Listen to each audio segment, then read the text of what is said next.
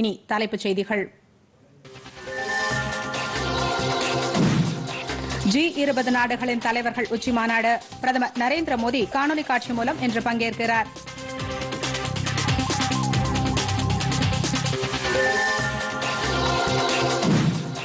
இருபத்தி ஓராம் நூற்றாண்டில் உலகத்தை ஒன்றுபடுத்தி இணைப்பதில் விண்வெளித்துறை முக்கிய பங்கு வகிக்கும். விண்வெளி சங்க தொடக்க நிகழ்ச்சியில் பிரதமர் நரேந்திர மோடி பேச்சு.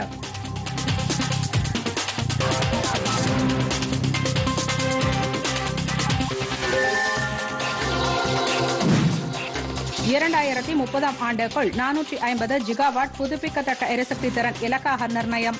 மத்திய அமைச்சர் ஆர் கே சிங் தகவல்.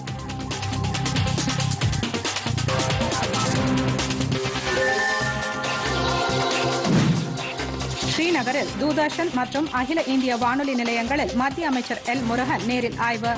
ஆக்கப்பூர்வமான விழிப்புணர்வு நிகழ்ச்சிகளுக்கு பாராட்டு.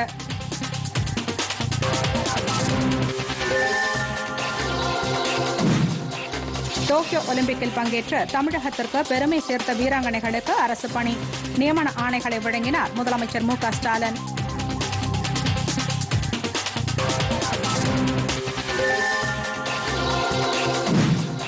ஒன்பது மாவட்டங்களுக்கான ஊரக உள்ளாட்சி தேர்தல் வாக்கு எண்ணிக்கை சற்றுமுன் தொடங்கியது.